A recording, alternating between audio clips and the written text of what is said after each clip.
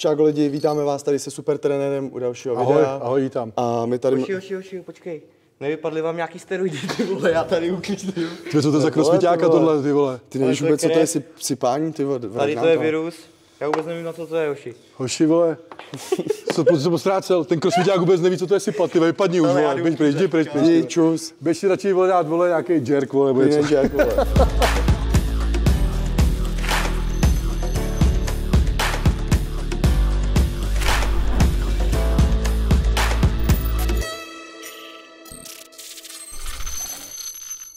Čau lidi, znovu, Ben se nám tady všechno sebral, protože už zavíral gym.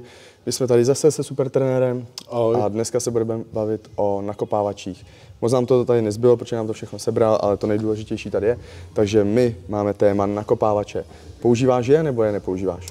Já se musím přiznat, že takový ten věk, kdy jsem řešil nakopávače, už je pryč.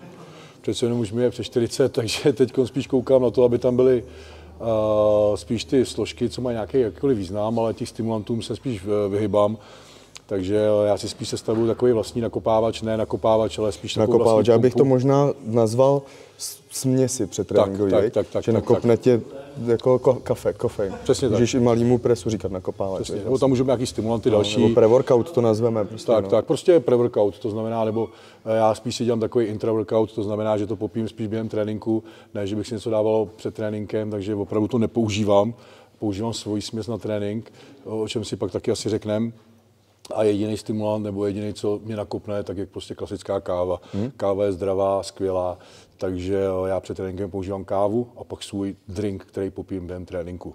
Takže tohle jde vlastně mimo mě, takže radíme. Já to mám všechno odzkoušený. Ty máš určitě všechno vyzkoušený, takže, Takže to... začneme tak nějak z začátku, abych to rozdělil, rozdělují se na uh, nakopávač, nebo nazveme to těma směsima nebo pre-workoutama, uh, s kofeinem nebo se stimulanty a bez stimulantů. Bez stimulantů to používají lidi jako já, když cvičí prostě večer, takže Bloodstorm, Sirius Pre třeba tady, nebo tam je M3 pumpa oček virusu, to jsou látky, nebo aminokyseliny tam jsou, eh, k napumpování a k lepšímu výkonu, ale není tam právě ten kofein nebo guarana, hmm. takže lidi, co cvičí večer, je to super, že pak usnete. Já třeba osobně, když si dám něco takového v 6 večer, tak prostě koukám do 3 do rána takhle a pak hmm. druhý den jsem ještě horší než hmm. ten den, takže si myslím, že je to spíš kontraproduktivní. Určitě, já si myslím, že hlavní, hlavní jsou ty účinné složky v tom, takže koukat to no. složení těch účinných složek a ne, že s tou budete vyvalený a budete nakopnutí, tak je koukat A nebo si prostě, když tomu nikomu nedá ty grády, tak si k tomu dá kafe, že jo? A dodá si ten. Hlavně pro třeba pro lidi, kteří mají už sami o sobě vyšší krevní tlak, eh, nejenom proto, že se jim to zruší spánek, ale eh, vyšší krevní tlak a tak dále. Eh, Dneska už se ukazuje, že právě se opouští od těch, od těch eh, velkých stimulantů nebo silných stimulantů, eh, zase zbytečný záhul na srdce a tak dále. Vy prostě musíte být motivovaný do toho tréninku úplně jinak. Chápu, že třeba je někdy únava a tak dále, ale ta únava a ta, motiva, ta, ta motivace měla přicházet z druhou sérií, takže, takže opravdu pro mě teda stačí čistá káva. Mhm. To jsme se možná dostali k tématu, když jsme se bavili, že to je pře, jako přehnan, tak k tím k americkým nakopávačům. tak. Což já si myslím, že jen tak z jakého důvodu to tady není zakázané, že jo? Určitě, někdy, něk, přehání. některé složky jsou třeba i u nás přehnaně, jako by třeba mm. zakázaný, ale naopak zase některé složky mají opodstatnění v tom zákazu, samozřejmě. Když potom, když se teda budeme bavit, že dneska eh, je docela běžný, nebo eh, když se zase vrátíme k tím zakázaným látkám, tak pak ta kombinace silných stimulantů se zakázanými látkama eh, je velký záhul na záhul srdce. na srdce, viď. Takže právě proto takový ty, takový ty lepší trenéři nebo, nebo zahraniční už jakoby upouští, aby klientům doporučovali tady ty driáky, ale spíš eh, právě dávají takové ty složky, ty, ty složky, které mají význam z pohledu na pumpování, ale bez nepřehnaných stimulantů, protože v té kombinaci s těma všema látkama dohromady uh, to může být opravdu záhul třeba na to srdce. Hmm. Takže ty, ty si tře- třeba jako skládáš co, když jsme se bavili Když se do dostaneme teda k tomu mýmu, tak Ty to piješ asi odhaduju teda i při tréninku. Přesně tak, já to teda, já, já to mám tak, že vlastně já si složím takový intra shake, Mhm. mm. kdy uh, první polovinu vypiju hned na začátku, jakoby v průběhu začátku tréninku. To je dobrý třeba i to, u toho Sirius Pre. Jsem měl tři balení, to se taky popíjí, popíjí, Mhm, mm, jsou tam i nějaký BCáčka, mm. ale popíš a pak dokonce můžeš to jako dopít i při tréninku, Tak, že, tak, tak. že je jiný, že ho musíš do sebe klopnout a pak Určitě. až to jako funguje po nějakých 30, 45 minutách. Tak, tak, tak. Takže já v první třetině máš- tréninku vypiju jako i půlku toho svého Mhm. barelu eh, a potom už ten zbytek, eh, zbytek popíjem do konce tréninku. Myslím si, že zásadní tady v těch složkách je určitě z mýho pohledu citrulin, Mhm. mm-hmm. který dělá tu pumpu skvělou. Takže eh, já dávám do toho minimálně 5 gramů citrulinu jak říkám, lepší, lepší prokrvení, žilnatost, víc živin do svalu a tak dále. Plus potom tam dávám beta-alanin kolem 3 gramů, Eh, zase pro oddálení únavy je prokázáno, že eh, díky produkci karnosinu, takže zase, zase že oddálí únavu, takže můžete udělat nějaký to opáčko navíc. A potom už vlastně kreatin, kreatin, hlavní složka pro mě, eh, jsem furt zastánce toho kreatinu doplňovat ne nějaký nasycovací fáze, ale prostě dávat během toho tréninku kolem těch 5 gramů. Takže opravdu nízká, nízká dávka, zase energie, zase síla do nějakého opakování navíc má spoustu benefitů, takže úplně v klidu, nebát se ho. Uh, myslím si, že i v těch přetréninkových... jsou třeba 2-3 gramy většinou. Tak, většinou by tam, i, i jsem zastánce toho, že by tam měl být, když budete vybírat nějaký takovýhle suplement. Uh, takže dávám kreatin, pak dávám glutamin. Glutamin dávám spíš z toho důvodu, že zase spíš zdravotní benefity, jak už jsme se o něm bavili, přínos pro naše střeva, imunita a tak dále. Takže přidávám glutamin a myslím si, že je vhodná doba, mimo teda to, že bych ho dával před spaním, tak další vhodná doba je určitě během tréninku. Mm-hmm. Takže přidávám glutamin a pak už tam mám uh, spíš složky z pohledu živin, to znamená rychle střebatelný cukr v podobě cyklického dextrinu, to je Glycodex od Amixu Eh, ten dávku podle toho, jestli jakým jsem období, jestli nabírám nebo to, takže nemůžu říct přesně, přesně, přesně kolik cukru tam dávám, ale dávám. A potom eh, místo teda eh, často zmiňovaných BCAček používám spíš EAA, to znamená teda komplexní Začal čím dál tím víc používat. Takže já tam dávám 15 gramů těch ještě EAA. Mm-hmm. A ty si, co se dělalo dřív za tebe, když jsi, když jsi cvičil? Káva. jo? Mm-hmm. Jste dřív, si do sebe lupli Tak jako když, když já jsem cvičil, jsem byl opravdu mladý, tak nebyly žádný suplementy, takže opravdu jenom káva. Fakt takhle, jo? Neexistovaly žádný BCAčka, neexistovaly nic kucí rostly jako z vody, takže tím se dostávám k tomu, že určitě tohleto z vás, nebo ne za vás, teda nebo ne z vás, ale za vás úspěch neudělá, nebo ten pokrok v posilovně.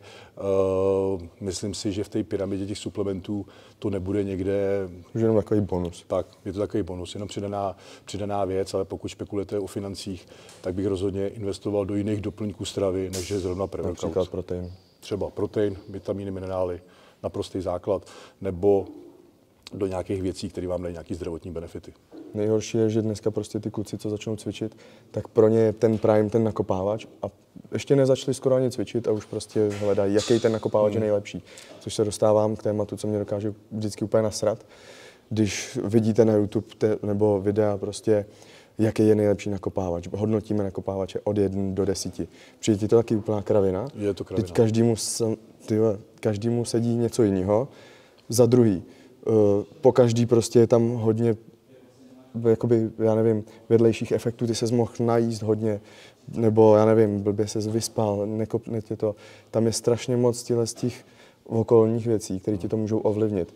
A oni to, většina těch lidí, co se můžete koukat na YouTube, tak to vyzkouší a napíšou první dávka a super, nejlepší věc. Nebo hmm. první dávka, měl jsem jednu dávku a vůbec mi to nefungovalo, je to kravina vyhozen peníze. Hmm. To nemůžete přilepit prostě jednomu produktu jedničku a k druhému desítku. Mně to přijde úplná jako kravina prostě. Přesně, dají se hodnotit, dají se hodnotit jenom podle toho složení, to znamená teda podle Jo, jako obsah třeba těch aminokyselin. Ale i tak, ale každý si hraje s tím poměrem. Přesně, přesně já nevím, jednou dáš to trošku míň, jednou víc, najednou tě to nabudí, to je prostě úplně, mně to přijde jako bullshit. Je to takový, prostě každý si hraje s tím poměrem, aby měl každý svoje know-how a pak ten jeho pre-workout je nejlepší, ale, ale v zásadě si myslím, že se to moc neliší, tam prostě je to jedno na jedno brdo. A ve většině těch videí stejně ten člověk, který bude dělat recenzi na ten, to, co to vyhrál, tak většinou jich dostal pár kousků, že domů, Rozhodně. Tam to zahřál kapsu, tyhle, a Rozhodně, že mu to hrozně funguje. S kloubníma výživama ze vším, tam je to samozřejmě uh, o tom, kdo tu recenzi dělá, kdo mu řekl, udělá, co dostal, že jo. Takže z tohle já vůbec nečerpám, jako že bych si, když já si dohledávám nějakou látku nebo věc, co by mohla zlepšit trénink nebo něco, tak určitě mm. nehledám v nějakých recenzích kluků, uh, který, který mají no, izopníku, ale, ale spíš se pídím po té samotné látce, co to dělá, co to způsobuje, jestli nějaká studie prokázala nějaký vůbec účinek, protože na tom trhu je opravdu x doplňků, který nám absolutně postrádají smysl a jenom tahají prachy z, z vašich kapec, nic víc. To je právě ono, takže nemůžete věřit tomu, co tam napíšou, že tenhle je nejlepší a takhle. Já třeba osobně jsem byl jedním z prvních, co vyzkoušeli králičí krev, dostal jsem první vzoreček a žádný, žádný balín jsem nedostal, jo, jenom tady říkal. Aha, psal, nic mi to neudělalo, nebo necítil jsem to, tak jsem psal Hanzovi, ty teď to vůbec nefunguje, jak to navrhnu. A pak jsme se nějak bavili a on, ty já nežral si, já říkám, no, teď před půl hodinou jsem se nažral. No a právě to je ono, takže takový ty unáhlené recenze, že to nefunguje. Hmm. Takhle, já si myslím třeba prostě tyhle, ty, co zrovna tady, co máme, tyhle nakopávače, králčí krev můžete znát od Pavlise, N1, Sirius Pre, na všechno bylo natočen bez tak úplně milion videí, recenzí. Já si myslím, že když chcete něco zkusit, tak si dejte na baru jednu odměrku a uvidíte. Si myslím, že je zbytečný hned prostě rvát 700 korun do nějakého nakopávače a ještě nezačít ani cvičit. A hmm. To je prostě ono. No. Takže já osobně, já to mám třeba rád, já jsem línej si to, já přiznám, já jsem línej si to míchat jako ty. Většina těch aminokyselin je strašně hnusných, já nevím, jak to vypiješ. Uh, tak to by to přehluší ty EAčka, vím? Tak, no jakoby takhle. Že arginin, citruin, to samotné já mám, je to já mám všechno bez hnusný. všechno bez příchuti, ale jak tam je ten glikodex, který kupuju Jo, celý taky, sladký, takže já většinou volím stejnou příchuť glikodexu, což je většinou kolem nějaký citron s něčím, Mhm. mm. příměsí, tak i já používám od Mioteku ty AAA, ty mi vyhovují nejvíc, tak, eh, tak volím stejnou příchuť citron a pak to smíchám dohromady, takže se dá říct, že to je, že to je lahodný shake během toho tréninku, takže úplně v pohodě. Jo, takhle. Já třeba jsem pohodlný, takže rád si dám prostě nějaký, nějakou tuhle tu směs. Já to zase chci mít pod kontrolou, co tam přesně mám, takže Jo, tak ono většina, mně přijde všechno na jedno brdo, někdo se snaží vystoupit z řady tím, že tam přidá o 3 gramy něčeho víc a napíše to tučně, prostě největší obsah beta. Ale já jsem, já, jsem- třeba. já jsem v tomhle takový autista, protože jako i třeba vím, že si můžu koupit třeba proteinovou rýžovou kaši, ale já chci Mhm. prostě vědět přesně ten poměr, to, to, to znamená, že víte, že do jídelníčku vám píšu prostě, uh, napíšu prostě 50 gramů nebo 100 gramů rýžové kaše, 30 gramů proteinu, udělejte si to sami. Je to, je to, je to jako, že, jako takhle, říkám, mm. že to chci mít pod kontrolou, ale samozřejmě pokud je někdo pohodlný nebo nechce se s tím furt uh, jakoby nějak uh, srát, když to řeknu prostě, tak, uh, tak samozřejmě může volit tady ty směsi. Já si myslím, že to je jako fakt, když přijdeš z práce unavený a necítíš se na to, nejsi ty sám namotivovaný. Určitě, určitě. Jak říkám, já, já si pamatuju, když jsem byl mladší, když jsem byl mladší, taky jsem prostě, je to taková, taková prostě, jo, něco si dáš, jdeš do posilovny, myslíš si, jako, něco v šatně, dává, to tam jo, jo, jo. přesně. Taky jsem mi točil ty videa, možná jste to viděli dřív, radši na to nekoukejte, ale, ale, ale takže, takže jsem s tím taky prošel jako každý, ale dneska, jak říkám, je mi přece jenom přes 40, pro mě už je teď no, spíš to, abych se cítil dobře, abych i po té 40 mohl dál cvičit, abych byl zdravý, takže já spíš hledám opravdu složky, které mají význam, a nebo, a nebo, nebo složky, které něco pomůžou tomu mému zdraví. To znamená, k tomu se i dostávám, pro můžu poradit i eh, klukům, kteří jsou 40 plus, eh, tak eh, opravdu se jeví jako skvělá pumpa, což někdy taky zkouším a přidávám, třeba je 5 mg, je 5 mg cialisu. Je skvělý pro vaši prostatu. Takže To je Viagra, ne? Není to Viagra. Viagra, Viagra, Viagra je podobný účinek, ale cialis je něco jiného. Jsou tam Takže je to vitamina látka, účinná látka, takhle, aha. vitamina účinná látka, která v malém množství eh, se používá i na léčbu prostaty, takže Mhm. je skvělá, udělá skvělou pumpu, eh, může i snížit různý druhy krevního tlaku a tak dále. Ale pozor, opravdu eh, 5 mg maximálně. Jo, o čem eh, jsou i, jsou i větší koncentrace, kdy se používá na vaše bone, to znamená na vaši, abyste měli pořádnou erekci, takže to pak můžete využít samozřejmě doma i se svojí přítelkyní či ženou Po tréninku. další přidaný bonus, ale tam se používají vyšší dávky, ale musím říct, že to funguje, eh, že to funguje skvěle na to napumpování a, a potom samozřejmě i na ten sex. Měli se trošku dostat k tímhle s tím čtyřicátnickým věcem zase, ale mně se třeba líbí, co jsem chtěl vyzdvihnout, že Shelter třeba od Big Zone, tak oni ty nakopávače začali prostě obsahovat adaptogeny, což si myslím, že jde z cizina, je to super věc. Hmm. Zkoušel jsi to, nebo má, jaký máš názor na Ne, ty ale- adaptogeny, jako třeba ale- Alviola, Rosea, Tak, tyhle ty je to, je to u nás je to pozadu, ale v zahraničí je to docela velký boom, nebo už se tam používá dost dlouho, takže právě jak já štrachám v těch zahraničních forech, tak právě na to narážím a hodně kluci to upřednostňují. Právě eh, ty, co jsou už zralejší a nekoukají jenom na svaly, ale koukají i na to zdraví. Takže všechny ty kluťáci 40+, plus, takže se právě o to zajímají hodně. Uh, a používají to, samozřejmě. Mm-hmm. Je to skvělý doplněk pro zdraví, uh, proto i já třeba vidíte na u mě na stories, že prostě pro mě priorita v suplementaci tak je třeba boron. koenzym Q10 a různé další věci, kurkuma třeba a tak dále. Takže, takže já spíš koukám fakt hlavně na to zdraví a samozřejmě zdraví je spojený potom i s tou vitalitou, i s těma svalama a s tou regenerací a se vším. Takže, takže určitě souhlasím, pokud je tam přidaný nějaký ta ashwagandha, byli, byli, ashwagandha další byliny. Samozřejmě to, co jsem řekl, je jenom eh, zlomek toho, co existuje nebo co je prokázanýho nějaký jakýkoliv účinek. Takže eh, spíš se soustředím na tohle a to pravidelně doplňuji. Mm-hmm. Tak jsme se tak Nebo jsme se i jednou bavili, vím, že třeba ten výtažek z červený řepy. Jo, to je super, ty nitráty. No. Skvělý, ty nitráty, skvělý, skvělý, skvělá věc. Uh, vlastně uh, taky zase na, na pumpování hmm. a tak dále. Uh, no, to by si utratil úplně Myland. Vem si, že tak. tyhle ty aminokyseliny, nějakou tu směs, k tomu tyhle bylinky, k tomu výtažek řepy, asi tam za trojku jenom tak, za tak, určitě. Za já to pocituju sám, já to pocituju sám, ale v tom smyslu zase na druhou stranu vynecháte doplňky, které jsou zbyteční. Hmm. Jo, de facto já, pro mě už je, pro mě je, je směrodatný jenom protein, uh, základní vitamíny, nějaký minerály, hořčík zinek a potom právě investuju hlavně do tady těch věcí, co se týče toho zdraví a tak dále. Takže právě pro mě ztrácí smysl už další věci, jaký pro vás, co si myslíte, že funguje, třeba testosteron boostry a různý prostě anabolizéry, které jsou vyhozený prachy a tak dále. K tím doplňkům jsme se určitě dostali ještě mnohem víc, tak radši ušetřím na těchto věcech a spíš investuju do těchto věcí, které mají smysl. Hmm.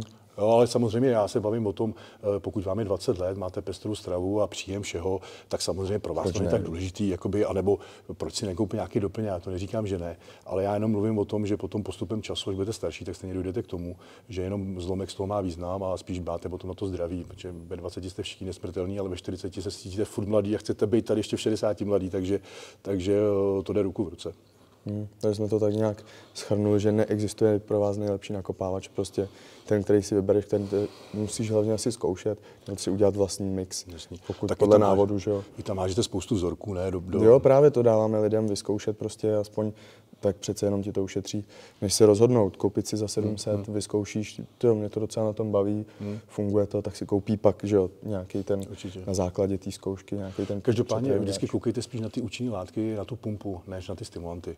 Uh, opravdu než, myslím, to, než, než 400 mg kofeinu, jo. aby tam byl ten a bacha na to právě, to vyšší množství kofeinu vás může naopak zase utlumit a tak dále, takže opravdu skvělá kombinace zdrav, kafe, zdraví, dneska se ví, že káva je zdravá, proč si nedát prostě kvalitní kávu a k tomu prostě nějaký jenom pump, prostě co vás přivede ty živiny do toho svalu. Ale abyste tady lítali jak, jak papírový čert na podzim, to prostě uh, postrádá jakýkoliv význam. Jakýkoliv, hmm. podle mě. Je to, jako je to pravda, no. To je pak se, nebo dáš prostě si myslíš, že bude lepší trénink, dáš dvě dávky a tak, tak. je to spíš prdeli. Než... Tak, tak a spoustu lidí to utlumí a pak čumí v noci, nespí, takže ten trénink stál, ten, ten trénink přišel v več, protože spánek regenerace, regenerace nabouraná a všechno. Takže uh, přemýšlejte hmm. hlavou prostě to tak nějak máš k tomu ještě něco, co by si nás poučil o tomhle stavu? Mm, ne, na tohle téma, jak říkám, pro mě tohle je trošku mimo mě, já už to nepoužívám, používám tu vlastní směs, jak jsem řekl, a vlastně teď jsem všechno skrnul, že fakt nekoukejte na ty stimulanty, ale spíš na ty účinné látky, co vám udělají nějakou tu pumpu. A, a nekoukejte na to, jestli vám pocit. to někdo doporučil tam na Instagramu, nebo na to někdo dělal recenzi, nebo na YouTube, stejně jich dostal pět bokem. Tak, tak. Je to na vás spíš, co vyzkoušíte. No. Určitě, vždycky ta vlastní zkušenost je to nejlepší, co můžete udělat. Hmm, takže to nějak ukončíme, dáš si před tréninkáč a jdem cvičit, ne? protože pozdě večer jsem unavený jako kráva, takže teď maximálně si dám eh, svoje bílky s micelářním kaseinem a půl spát. tak jo, to mi dáš aspoň ochutnat. Mimochodem, je to skvělý, jako ono to zní jako bílek. Ale... Jako počkej tekutý bílky. Ano, no já si našlehám, našlehám si prostě tekutý bílek, můžete vodili vejce, nebo já teda na šopu jsou taky ty eh, bílky no, tekutý, tekutý bílek si pěkně našlehám, do toho přidám micelární kasein a to je svačinka před spaním tak to vyzkoušejte, pak nám dejte vědět, jestli vám to chutnalo nebo ne, nebo jestli máte nějakou zkušenost s nějakým stýlech nakopávačů nebo s jakýmkoliv jiným, co máme na shopu a budeme jedině rádi. Ahoj. A ještě bych řekl... Já už jdu domů, ale... Ne, ne, ne, ještě vydrž, ještě vydrž chvilku. A samozřejmě, pokud chcete objednat jídelníček nebo trénink, supertrener.cz, dáme dohromady nejen jídelníček, ale samozřejmě i suplementace je součástí. Mějte se, ahoj. Ahoj.